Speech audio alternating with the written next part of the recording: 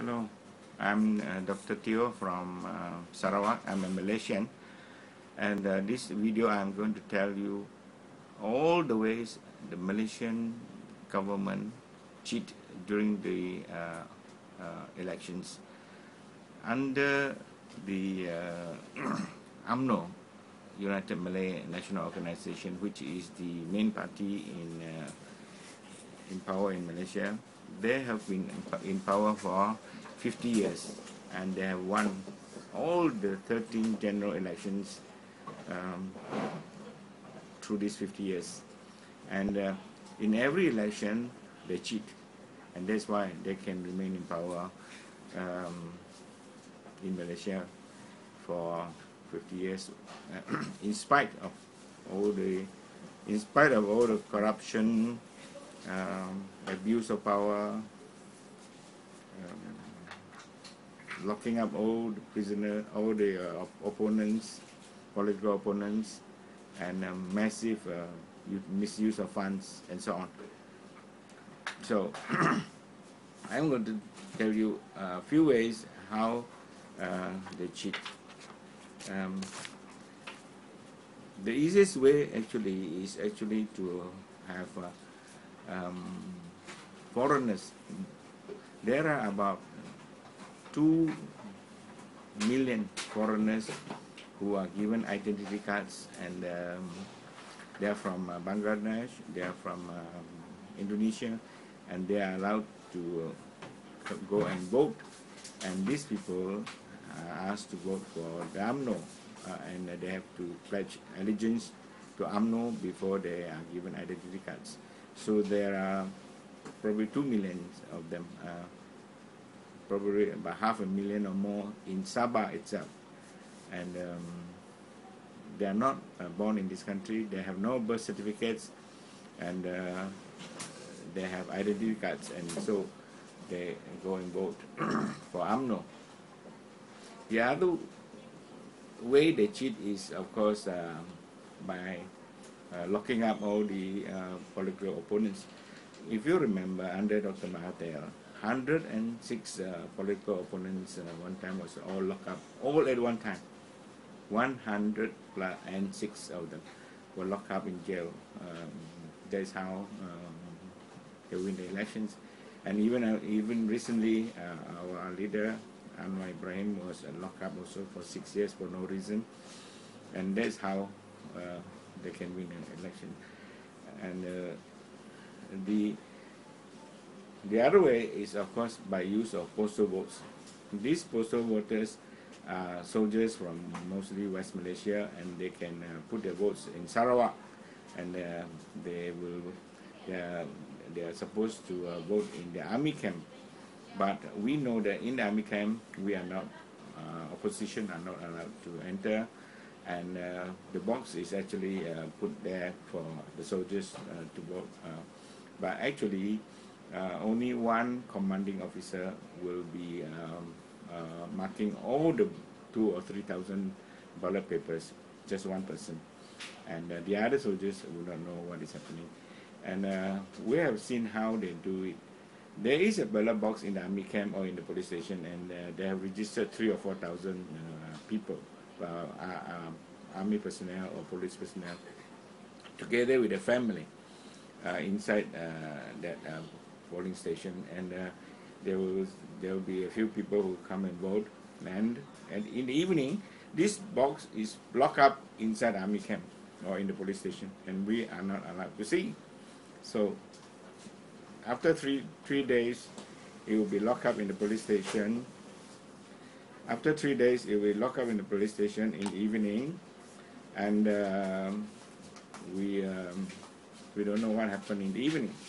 So on the third day, when the ballot paper, uh, when the ballot papers are counted, as usual, there will be 99 or 99.9 percent uh, for the government. You know, and we know that uh, a number of ex-military uh, um, people have come out and said that they never voted. Only the commanding officer voted for everybody. So this is one way they cheat uh, by uh, getting the soldiers and the family from West Malaysia to come here and vote.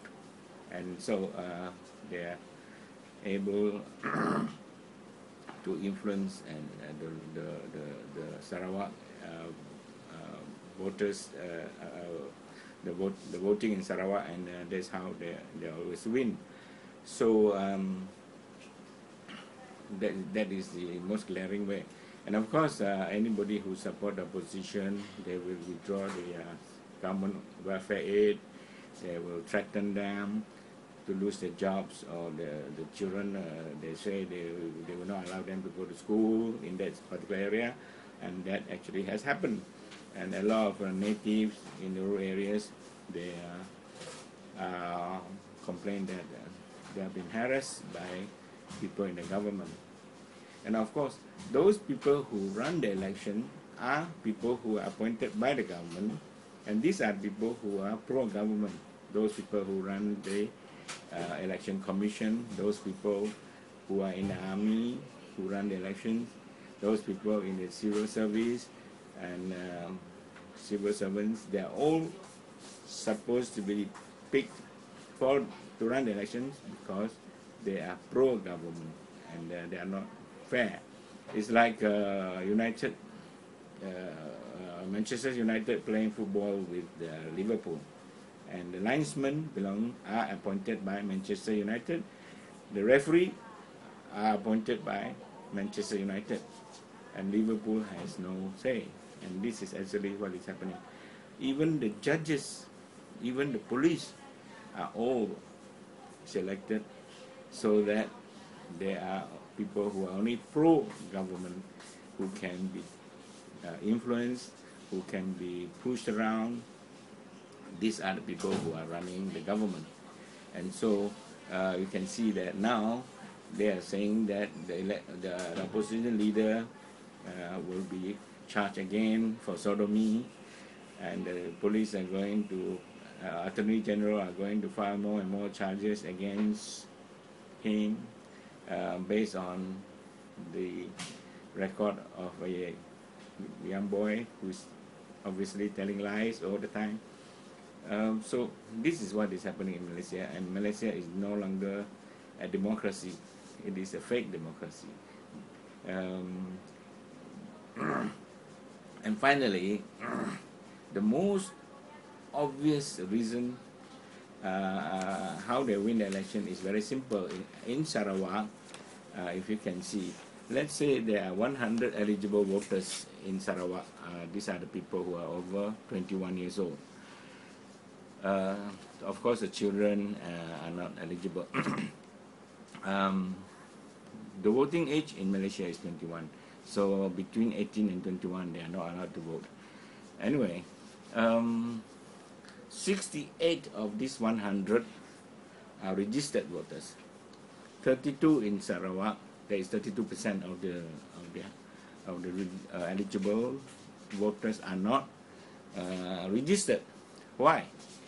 These 32% are the rural people or the brown people who find that it is no, uh, uh, it doesn't make any difference whether or not they vote. For example, in the rural areas, um, the natives, the Penans, the Punans, they live so far away, they don't even have a birth certificate, they don't even have identity cards, and so they cannot vote. And for them to register as a voter, it is very, very far. So they find that it is too costly to, for them to register as a voter and the government does and not actually want them to vote because a lot of their lands have been taken away by the government and they're not happy. And also, a lot of dams are being built on their land to flood their farms and their homes. So these people are not happy in the rural areas, but they do not allow them to vote or they are not encouraged to vote because they do not want to make it uh, automatic registration for everybody above 21. So to, to not allowing automatic registration means they do not allow a large section of the people to vote. But anyway, out of 68 registered voters, 58 to 65 percent turn out during the election, which means that only about 40 people out of 100 actually go to vote. And um, in a fair democracy, where one man has one vote, you can see that uh, you need to win the election, you need 20 out of 40, half, in order to win.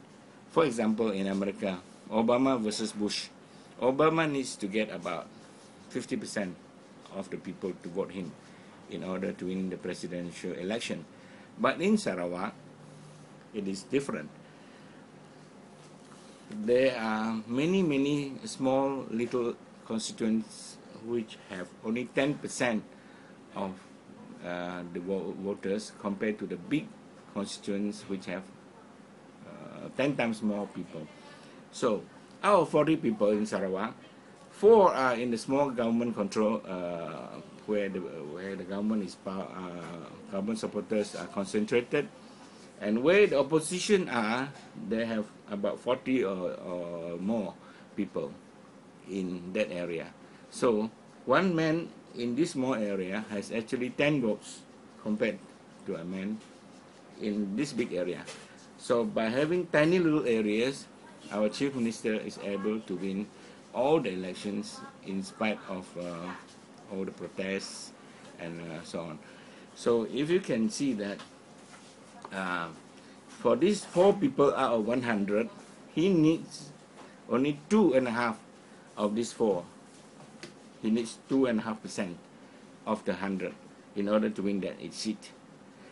In the big areas, particularly in the towns, the people, there are big numbers, 10 times more than the small areas. So that is why our Chief Minister Taib Mahmud can win the Sarawak election if he has between 2 to 5 percent of people supporting him. These are the, his uh, stronghold areas and um, only 2 to 5 percent uh, of the voters in these areas. All the big areas, they have lots of voters but they are big areas and so it is impossible for the opposition to win. Let's put it in another way. Manchester United has 100 players in the football field. Liverpool, 10, uh, 11. The referee belongs to Manchester United. The linesman belongs to Manchester United. And do you expect Liverpool to win the football game when they have only 10% of the players on the field? So that is why they have been able to win 13 general elections by this method. Tiny little areas with few voters controlling the game. And so Malaysian vote, uh, Malaysian democracy is a fake democracy.